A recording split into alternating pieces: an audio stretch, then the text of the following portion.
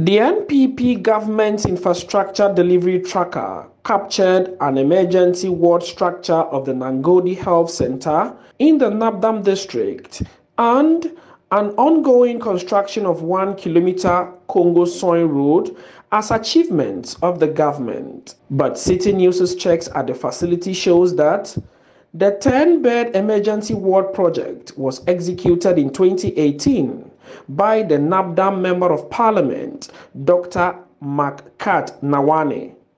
The emergency ward was to cater for patient surgery operations and other critical conditions. There was also no contractor working on the 16.5 kilometer Congo Soin Road contract awarded to Damit Enterprise. Our checks reveal that there is no such name called Congo Soin in the Nabdam district, but the road starts from Congo through to Bongo Soin in the Bongo district.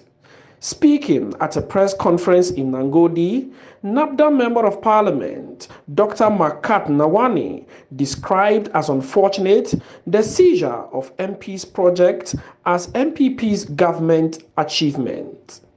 With this 135 or whatever what billion that they have borrowed, or they've even added to our debts, they can't account for a single health structure within the four years. And when the member of parliament who represents NDC and who the laws of the country gives him 200,000 or so a year, bills and also hope to use it to help him in his campaign, you are seizing the MP's project and adding it to yours on grounds that you gave the money. It's not you who gave the money. It's the law, it's the constitution that said the money. NDC Nabdam Constituency Communication Officer James Tenga chastised the NPP government of touting ghost projects as achievements. From our checks, the NPP infrastructure tracker has captured the following as infrastructure projects in Nabdam. Point one, ongoing construction of a one kilometer road of Congo Soin in Nabdam district.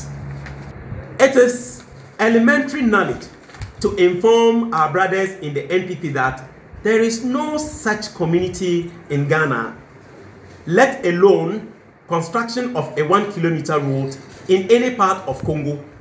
If this is not a lie, then what is it? The NPP should tell us. In another development, the government delivery tracker also captured the construction of 120 affordable housing units in Pusunamogo in the Talensi district as ongoing. Vice President Dr. Mahamudu Bawumia indicated that progress on the project was 20%. But Citi News' checks revealed that the project was a public private partnership with Rocks Estates.